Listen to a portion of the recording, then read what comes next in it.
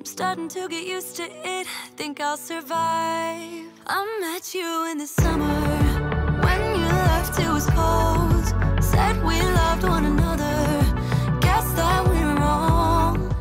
Today I'm so excited because I'll be sharing with you my closet organization system. A special thank you goes to my husband for building this closet and to my mom for helping out with the design and organization.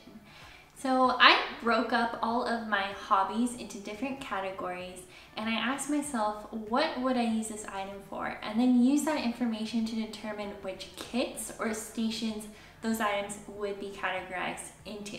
A station is something that is in a fixed location and is for a designated activity. So for example, over here I have my gift wrap station. A kit is an item typically in a box that can be relocated to a different location in the room or in your house that contains all the items that you'll need to do that activity. And then I also have a mobile station which has all of those items that you need on the station. In this case, we have an art cart and a planner station and that can be relocated to my desk, a couch, anywhere else in the house, but it has all the items that I need to either plan or to do the art activity.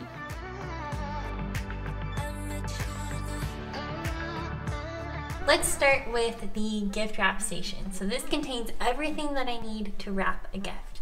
Up here I have a basket for ribbon and some tiny bags. Down here we have some string and scissors as well as tape. Over here is a ruler as well as scissors and gift wrap and these are actually on curtain rods but the idea of this is that you can pull the paper out and then just cut it off. Here I have some gold washi tape for wrapping as well as some gift bags hung on the wall. This drawer is also part of my gift wrapping station. I have some extra wrapping paper in here, some extra bags, as well as any tissue paper that I need, some little baggies for wrapping tiny gifts, and then in this box, I have my twine and tacks.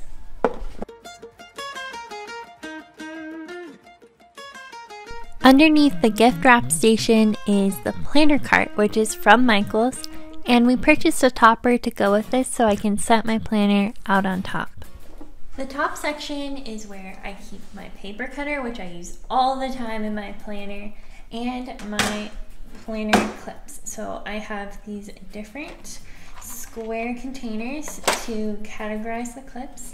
I have my planner bands on the side right here, this pouch is where I keep my planner pens, specifically the Papermate Inkjoy pens, which I love to use in my planner. On the second level, I keep some of my favorite pens, my Mildliners, which I use in my planner all of the time. Back here are my cutting supplies, scissors, and this actually someone gave me at PlannerCon. It's for cutting on the go, and they actually allow you to take this onto airplanes. So you can plan in an airplane if you want to. I use this to punch holes into my Happy Planner inserts. My adhesives are in this tray. So I have permanent adhesive, which I use all of the time in my planner, and some correction tape. I have special little paper clips and things to keep my planner page. And then this basket holds my post-its. So it's different sticky notes that I can use in my planner. And I'm using this Planner Society pouch to store colorful pens to in my planner. On the bottom shelf, I use this pouch to keep my planner stencils, this pouch holds my pocket pages for my Happy Planner. And in here I keep my Etsy sticker kits. This binder has materials for making dashboards. this notebook I showed in a video how to store your dashboards in here. So I'll link that video down below. I also have some smaller stickers in this sticker book. This came with the Planner Society, so I keep her stickers in here. This pouch has my Papermate Flair pens. And this last pouch has color pencils.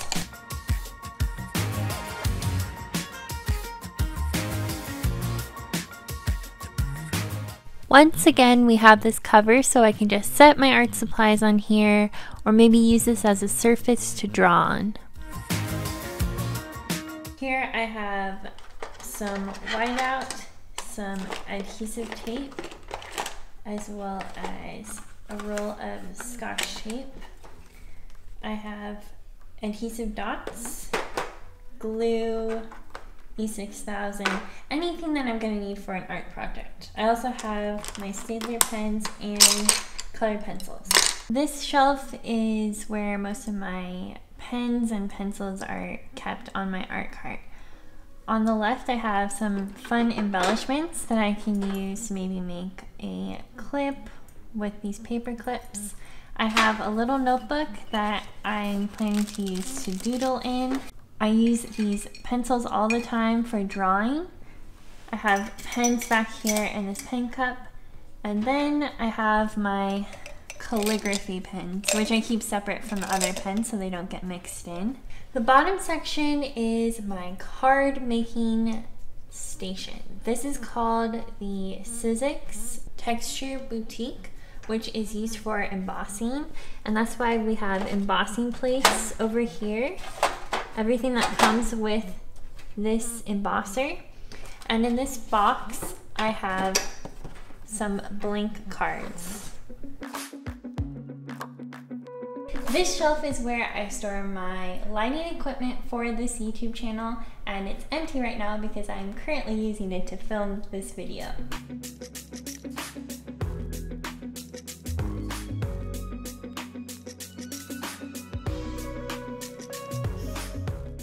This tower is where I store my colored scrapbook paper. These boxes are labeled according to the color of paper inside. This one says blue purple. These cabinets are shallow to allow for easy access to each of the items. I wanted to prevent stacking as much as possible because that means it's going to be less likely for me to put something away if it's more difficult to get to. These shelves are also adjustable, so they can be changed to different sizes if my needs for these shelves change in the future. I keep my camera equipment in this basket and then my planner stickers in these two binders. I have a whole video about the setup of these binders, which I'll link down below for you. I keep all of my Planner Society kits in this bin. They normally come in a box and they come in this paper package, so I got rid of the box and I'm keeping all the contents within the paper back package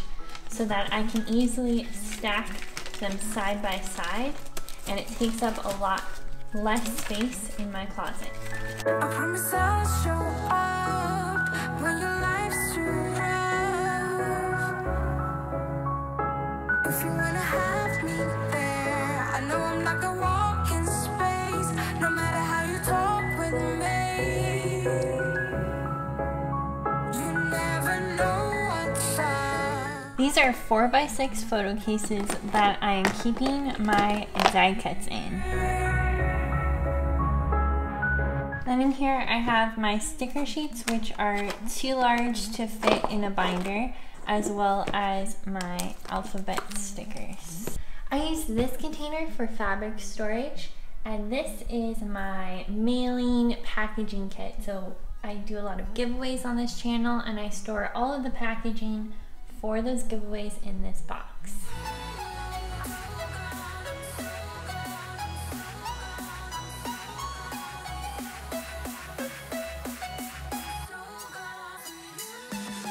All of my sticker books are kept in this bin here. And I keep my Happy Planner inserts in this filing system. I'll link the video where I go over how I store all my inserts down below. Behind this filing system, I store my Happy Planner desktop portable punch. My washi easily fits in back here and I keep it in this storage container from Michaels. Down here, I keep more equipment for filming my YouTube videos. This board I use to take Instagram photos. Then we have the clay station. This is everything that I need to make something out of clay. We have clay tools, chalk for adding details to the clay, paper clips for turning it into a planner clip. You've probably seen some of the videos where my husband and I make planner clips out of clay as well as all the different colors of clay that I have categorized. This drawer I showed you before is where I keep those extra gift wrapping supplies and down here I have several kits. On the left is my planner charm kit. I have a sewing kit and I have a fountain pen kit where I keep my fountain pens and the ink for them.